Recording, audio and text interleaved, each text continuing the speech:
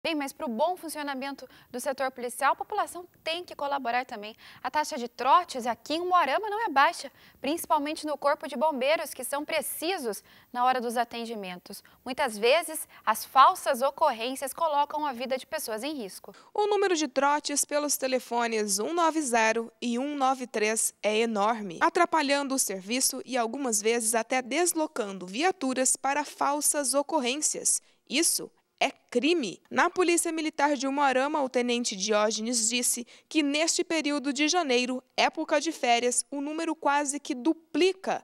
Isso porque as crianças estão em casa e acabam realizando esse tipo de ligação. É, infelizmente, é, alguns indivíduos aí é, ligam 190 e acionam aí a, a Polícia Militar e quando a gente verifica se trata aí de um alarme falso, principalmente nessa época de férias que as crianças estão em casa. É, tem acontecido muito. Os serviços da Polícia Militar é realizar patrulhamento, apreensões, fiscalização do trânsito e outras ocorrências. O tenente alertou que muitas ligações são por falta de informação, tais como ligar no 190 para pedir o endereço de algum lugar. A Polícia Militar vem é, solicitar à população geral que é, combata isso, ajude a diminuir essa quantidade de ligações é, sem aí aquela fundamentação, sem a real necessidade do chamado de emergência. Por quê? Porque além de ocupar uma linha, é, ocupar um operador, e muitas das vezes a gente desloca ainda uma VTR.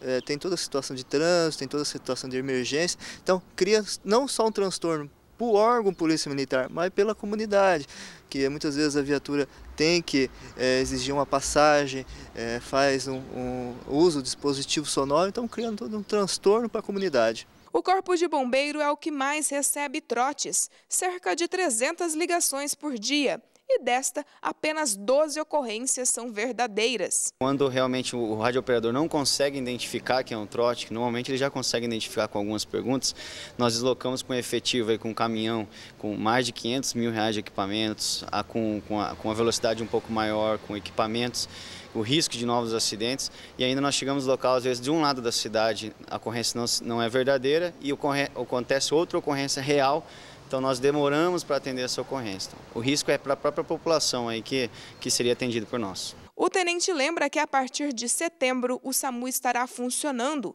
e algumas atividades serão de responsabilidade do Corpo de Bombeiro e outras do SAMU.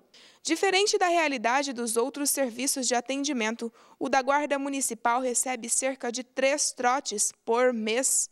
Um número reduzido de chamadas é o que afirma o secretário de Defesa Social, Paulo Roberto Fernandes. Na Guarda Municipal, o, índice é baixo, não tem ocorrido muita.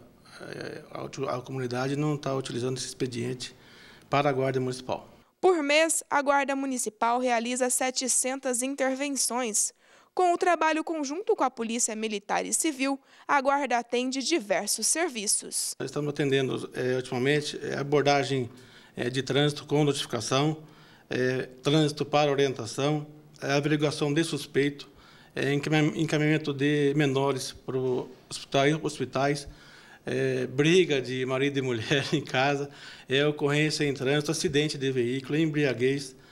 É, estamos atuando também no tráfico de entorpecentes, é, averiguação é, menores em praças, é, centros esportivos e outras áreas da região, da cidade.